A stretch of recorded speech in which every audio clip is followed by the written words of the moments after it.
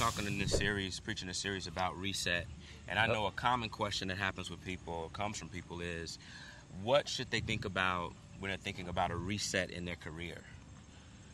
When a person is resetting in their career, the first thing they should think about is how long it took them to get started in that last career, which means how long it took them to start getting paid. Mm-hmm. So if you're going to have a reset in your career, you can't have a hard stop.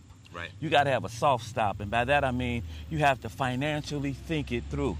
And you have to put aside money for about six months to eight months mm-hmm. to make sure that when you start in your new career, mm-hmm. if the new career is not paying off, and if it's not paying off as fast as you had hoped that it would, mm-hmm. that you have a nest egg and you have something to go to because you have to think about how long it took you to get started in your first career right. before money started rolling in. Right. And so many people make the tragic mistake of starting a new business and needing a whole lot of money real fast. Mm-hmm. And when money doesn't come that fast. Right. And so people can reset in their career.